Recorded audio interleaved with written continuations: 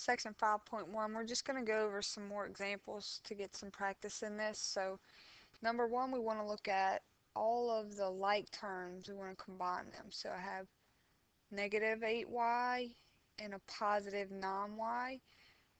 And whenever I add those together, I'm going to get positive 1y plus 4y to the 6th. Now I cannot add a y term to a and a y to the 6th term. So my answer is just going to be 4y to the 6th plus y. And this is written in descending order according to the y variable because this one's to the 6th power and this one's only to the first power. Both answers are correct. Uh, this is just a, a more, I guess, a proper form, you would say, to write it in descending order. It's just a good habit to get into. Number two, we want to add all of our like terms. So I want to add this xy squared term to this xy squared term. And I to add those together. I get negative 6 and then I keep the x squared y. Then I want to add my 4x minus x is going to give me positive 3x and then I have just this fraction, this constant left over so I cannot leave it off. So I have negative 11 fifteenths and this is going to be my final solution.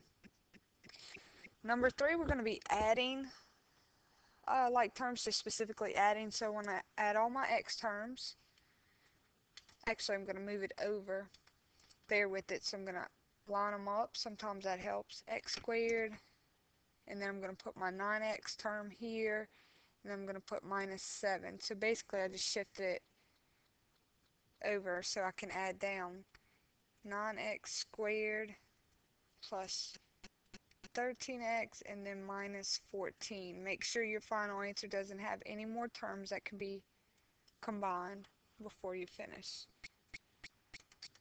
Number four, I'm going to do the same thing. I'm just going to line it up underneath it. So it's going to be x squared plus 6x minus 3. Add down, there's a known 1 there, so it's going to be 7x squared plus 11x plus 4. And number 5, likewise, it's already lined up in that format, so we're just going to drop down negative 2x squared.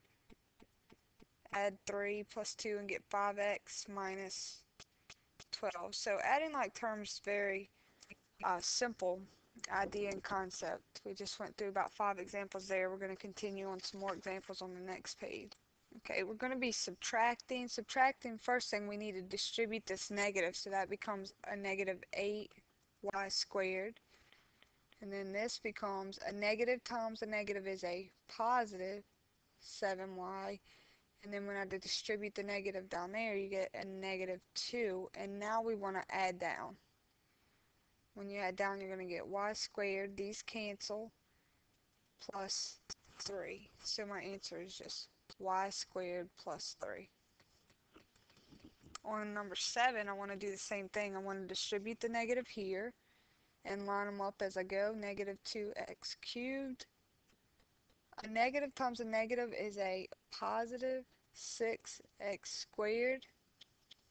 A negative times a negative is a positive 4x. And then minus 3.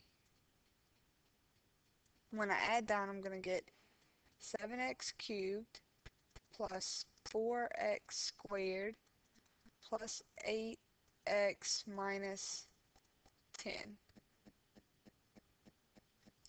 Right there. Number 8, I'm just going to add down. So I have 5x squared plus 22x plus 16. Number 9, I'm only going to work with two terms at a time so I don't get confused. So I'm just work with 7x squared and I'm going to move negative 3x squared underneath it. That was this one. I'm going to move negative 2, which is this one over here. I'm going to do 7 minus 3. It's 4x squared minus 7. Now I want to add this value. We'll subtract this one. So remember with subtraction we said we're going to distribute the negative first. So then that becomes negative 4x squared. And then a negative times a negative is a positive 7 and we want to add down. Well this cancels and this cancels so we are left with 0. Our solution is just 0. Our last and final section is going to be when they give us the function p of x, which is this, and the function q of x, which is this one, they ask us to make substitutions. They say when you enter this in the p of x function, when you plug 7 in for x, what's your solution? The p tells me to use this p function, which is defined by x squared plus x plus 1. Now if I put a parenthesis everywhere x is at, and now they ask me to substitute 7 everywhere x is at. So I'll go back and put a 7. 7 squared is 49 plus 7 plus 1 and that's going to add to be 57. So P of 7 is not is 57. Number 11 says go to the Q function. Our Q function is defined by 5x squared minus 1. Everywhere x is at, I want to put a parenthesis.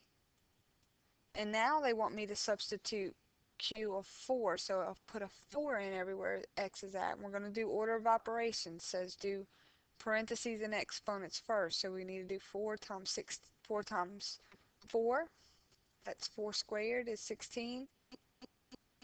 Now in order of operations, we want to multiply before we um, subtract. So when we multiply, we're going to get 80. 5 times 16 is 80. And then subtract 1 to get 79.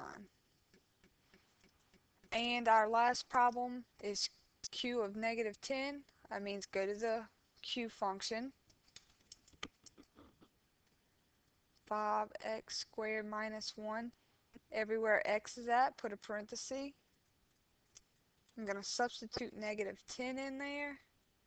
So that becomes 5 times. Now, order of operations say we square this first. Well, negative 10 squared is negative 10 times negative 10, which is positive 100.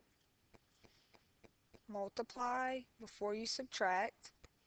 500 minus 1 is going to be 499.